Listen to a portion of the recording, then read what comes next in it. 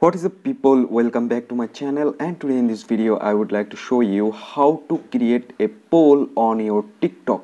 So let's begin our video. So first of all you need to open your tiktok.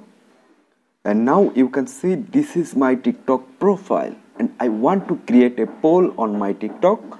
So for that what should you do? At first you need to click on the plus icon at the middle and there have a option for taking a video.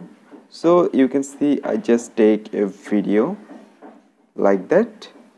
Okay.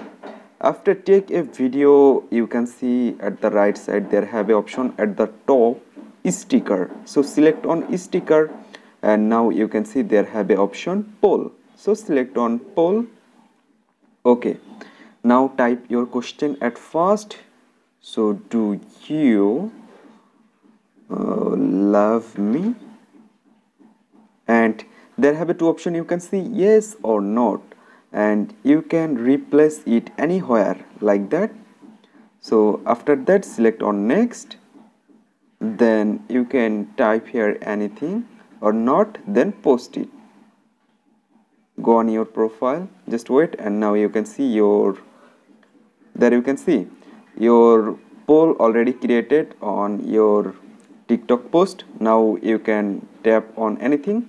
Do you love me? Yes or not? You can select yes like that. And other your viewers can take a vote. So guys in this way you can create a poll on your tiktok video very easily. I hope you can understand and hope guys this video can help you. Don't forget to like and subscribe my channel